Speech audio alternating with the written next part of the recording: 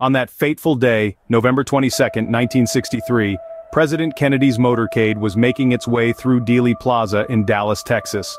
The crowd was buzzing with excitement, cameras were flashing, and bystanders were waving, trying to catch a glimpse of the charismatic president. Suddenly the air was pierced by the chilling sound of gunshots. Chaos ensued as the crowd realized the president had been shot. Amid the pandemonium, a peculiar figure stood out.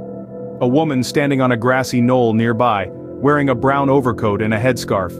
Rather than fleeing like the majority of the crowd, she seemed unfazed, continued filming the scene, the chaos, the moment that would forever be etched in the annals of history. Her unusual behavior and attire, reminiscent of a Russian grandmother, earned her the moniker, the Babushka Lady.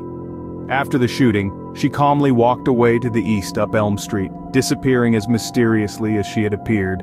In the aftermath, as investigators pored over the footage and photographs of the day, the Babushka Lady was a constant presence. Her apparent calm during the chaos, her continued filming even as others fled, raised questions. Was she simply a bystander, or was there more to her story? The Federal Bureau of Investigation made a public appeal for the Babushka lady to come forward, hoping her film could shed light on the tragic event, but she never did.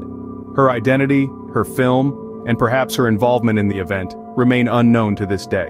So, who was the Babushka lady? Was she just a bystander capturing a historic event, or was her presence at Dealey Plaza more sinister? Why did she never come forward despite the FBI's appeal? We may never know. The Babushka lady remains an enigma, a faceless figure forever embedded in the fabric of this historic event, her secrets untold.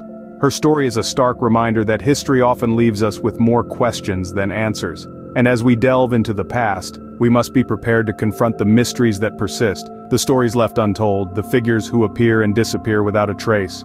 The babushka lady, with her brown overcoat and headscarf, her camera, and her calm amidst the chaos, will forever be one of those mysteries, a silent witness to a moment that changed the course of history.